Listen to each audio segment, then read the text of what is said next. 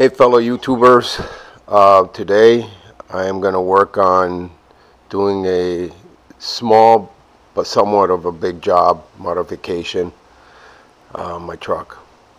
One of the things that my wife was complaining the other day was that for a very expensive truck they did not put a glove compartment light. So I'm going to see if I can install one in there. I have uh, two of these lights. This is a red one and then this is a blue one. LED. Don't know which one I'm going to put in.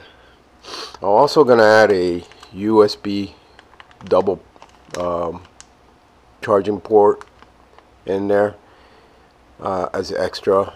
It's going to be somewhere in the bottom of the console and then uh, what they call under the dash floor lights.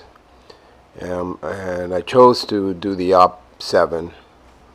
It had good reviews by people on YouTube, so I'm going to give it a shot.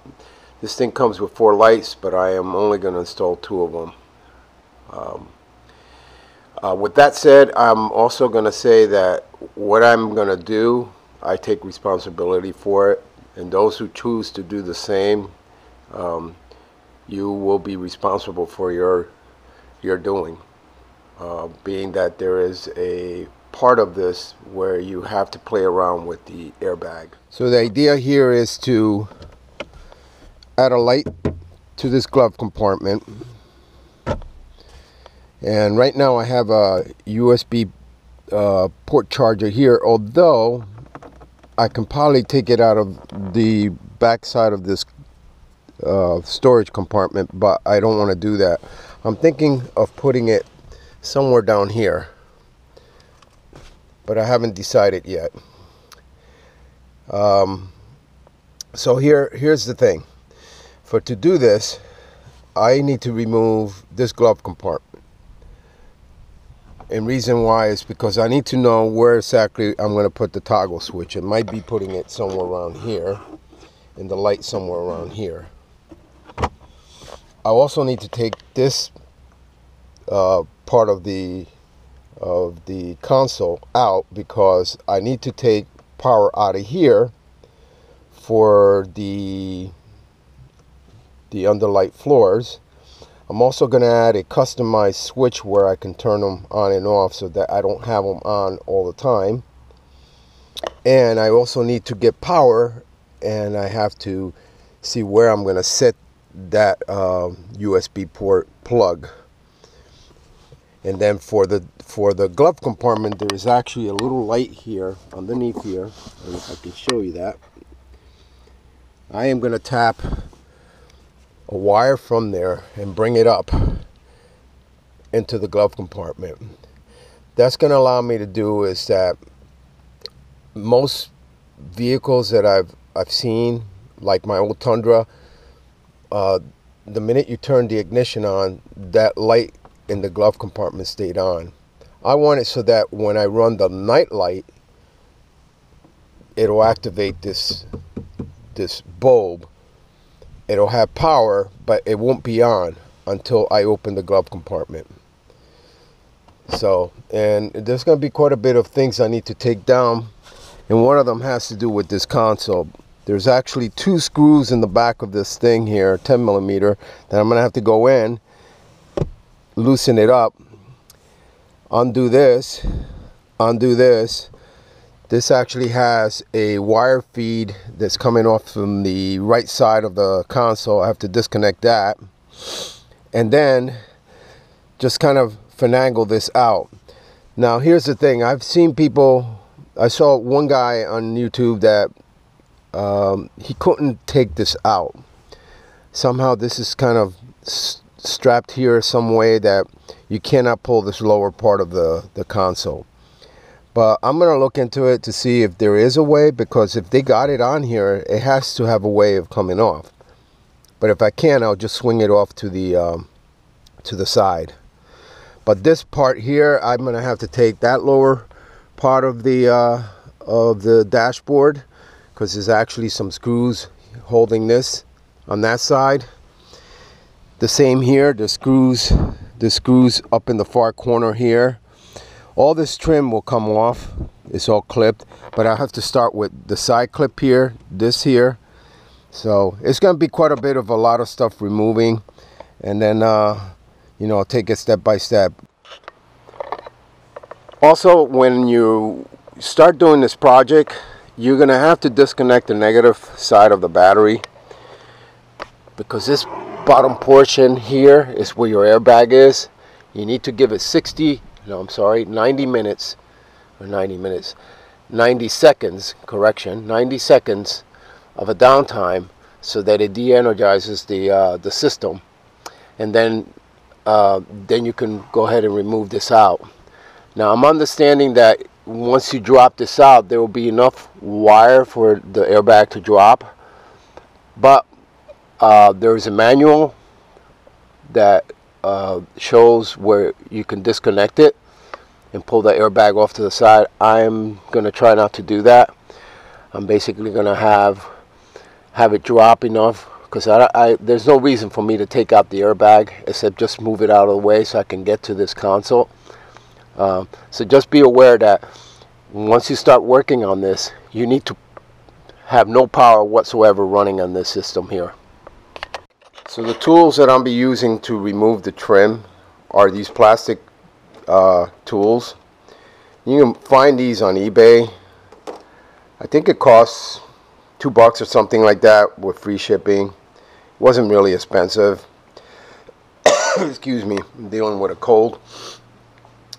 Um, I don't like using screwdrivers per se or even putting tapes at the end of the screwdrivers to take out trims. I think that really damages the trim. Whereas if you use this plastic, it's just plastic and it's more forgiving. Um, and this is the route I'm going to go. And basically anything I've done with this truck is I've, I've removed, I used this, these uh, plastic prying tools. Okay, so the next thing I did was I loosened this screw here now this trim is held by a screw right here. So you have to take this out. But in order to do that, you need to take the floor trim off and the kick the uh, kick plastic on the side or the kick floor plastic on the side. You got to pull that out. And then all this gets pulled out. It'll come all together. Uh, the side panel is actually clipped into the front trim here. So I have a screw here and obviously I got to empty out that glove compartment. I already disconnected my battery because not only is there a airbag down here but there's also one up here. Um, so I'm to loosen these screws. There's a screw here and I believe there's another one somewhere around here. But uh, it's going to take a little bit of a, a job. I believe there's a screw right here somewhere.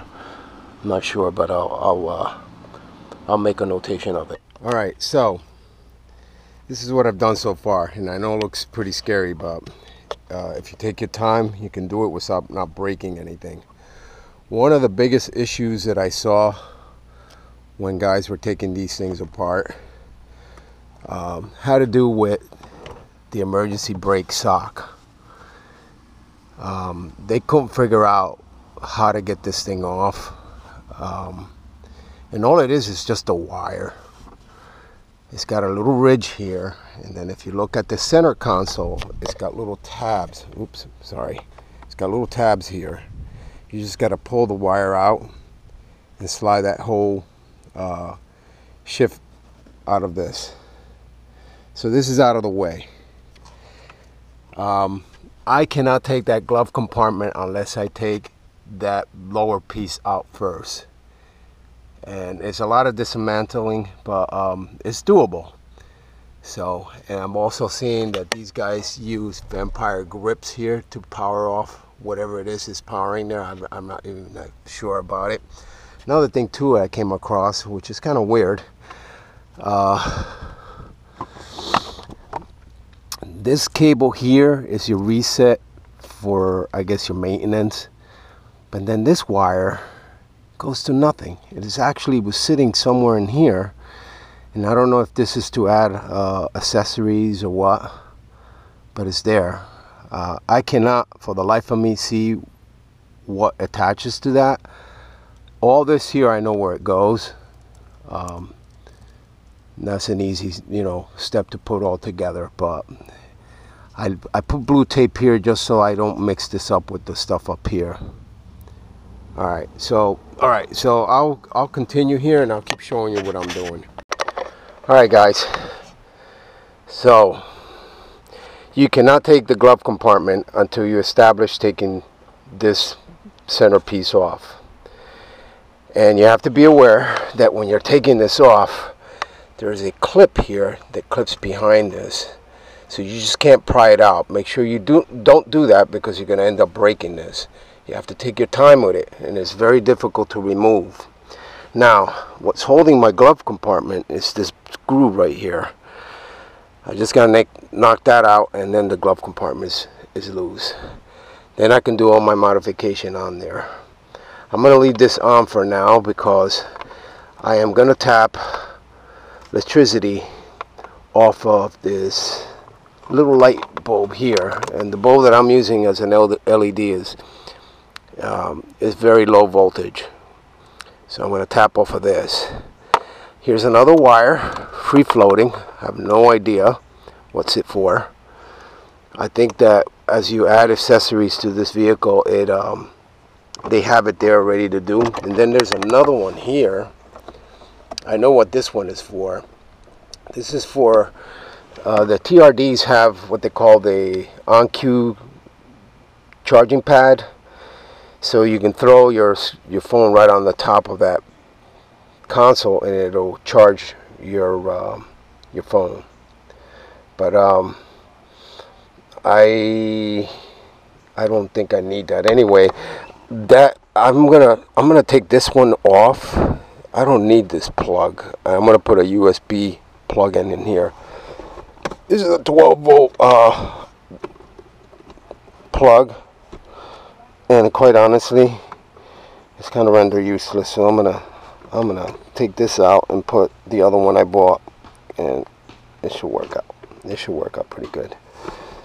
Uh, the wire is there and so okay. So the grub compartment is off. Um, I took the screw out thinking that that was holding the glove compartment, but it's not. It's actually a screw here. So in order to get to that, you have to take the trim off of the airbag out.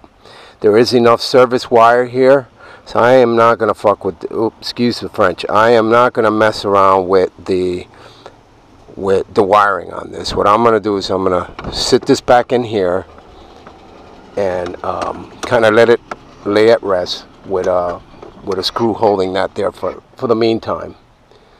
Um, there's a lot of stuff taken apart here, but um, I'll get it back together. That's that's not the problem. The the real issue was taking it apart without not breaking anything, and I succeeded in doing that. Nothing got broken.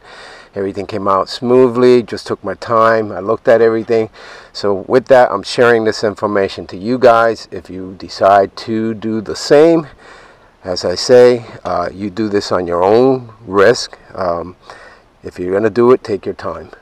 Okay guys, so instead of having the airbag dangling here, I just put the three screws back on, right here, right here, and keep the airbag supported. I did not disconnect my wire. Uh, I am now going to go to the glove compartment and I'm going to study how I am going to put the on and off switch and where I'm going to place the light bulb. And then I'm going to get my test voltmeter and see which one of these wires actually has power. I want to say that it's probably the green one that's giving power. But we'll find out soon enough.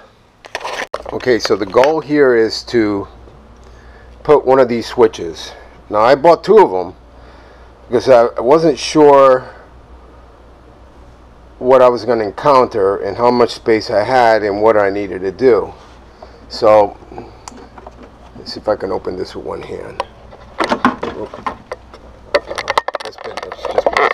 Sorry, guys.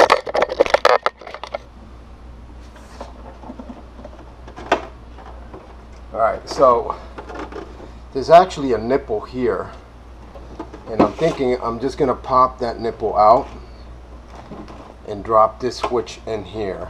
I have enough leeway to put it in and be able to run the uh, you know the power to this and the ground.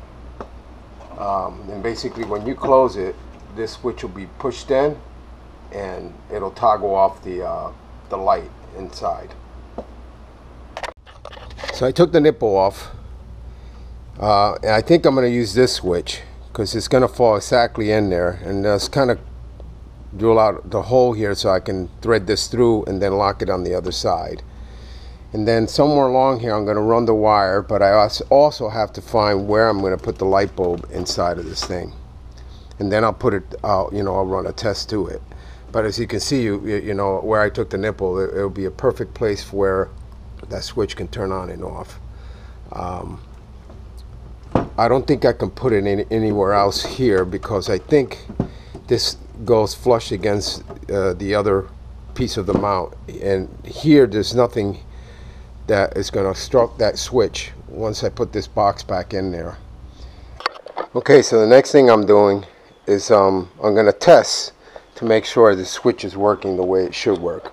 So right now the light is off. So when I open this glove compartment, there you go, you got light. Right? And then when I close it, it's off. When I turn it on, it's on. Off, on, off, on. It actually worked pretty well. Here's the switch what it looks like. Um, my thing now is to find where to put this bulb. And I think I'm gonna go with blue. I don't know about the red. Um, so here's the blue one. This is what the blue one looks like.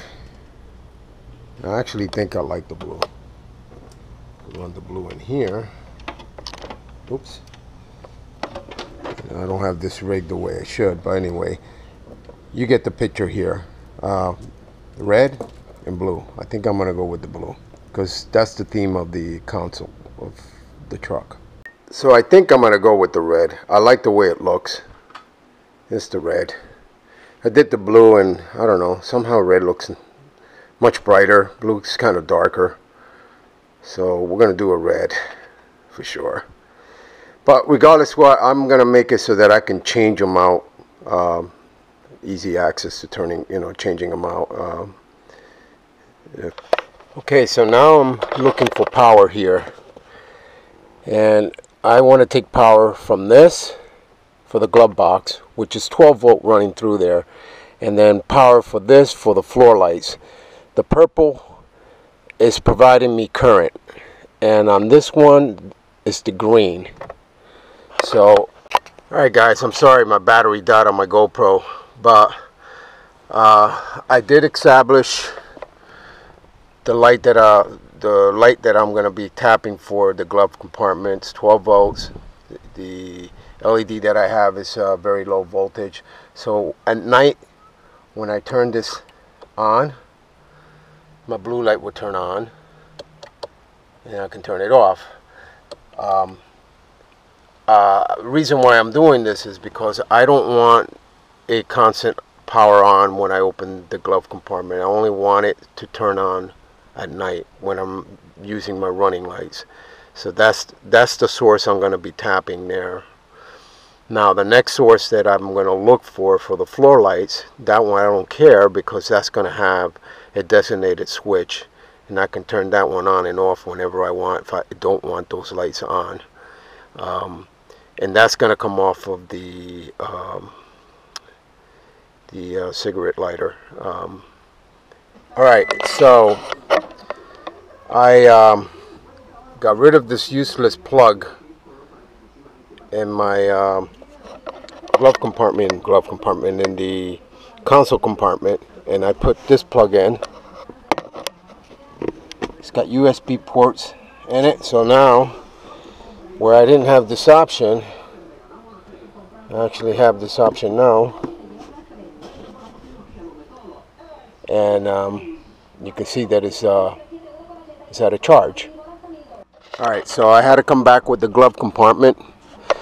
The switch works well here, it's cleared, but this here, you got to make sure that when you put the glove compartment that the light is not going to hit that. And so I kind of measured out where exactly I need to put that light.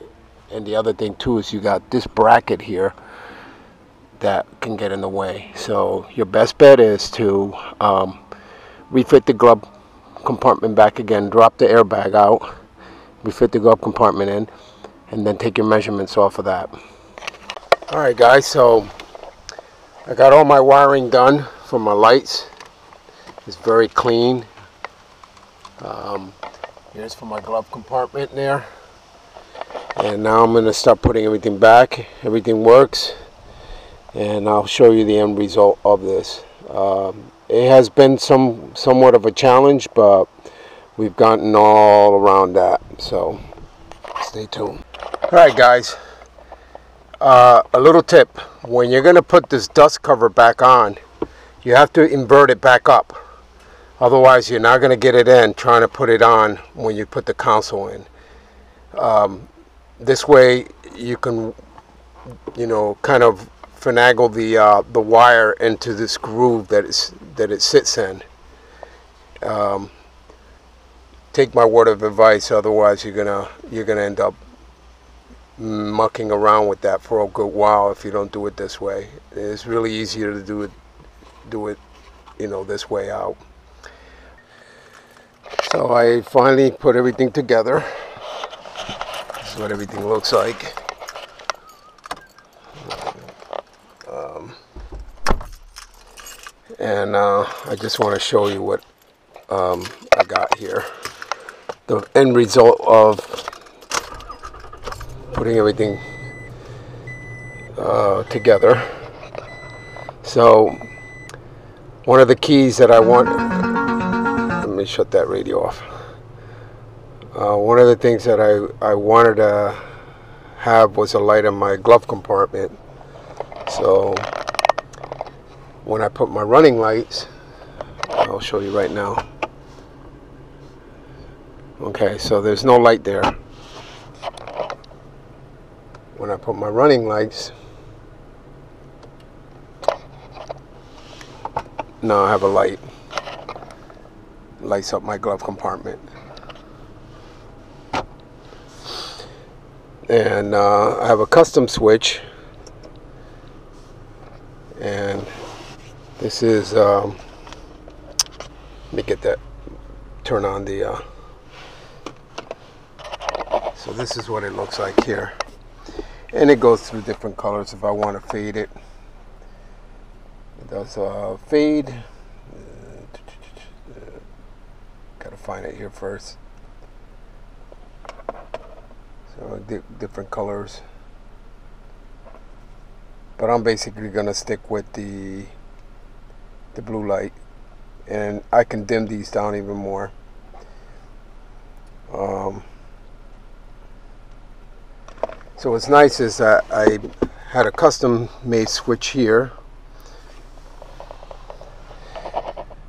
And so everything came together nicely. Uh, I didn't think I was able to, but I did get it to work out. Thanks for watching.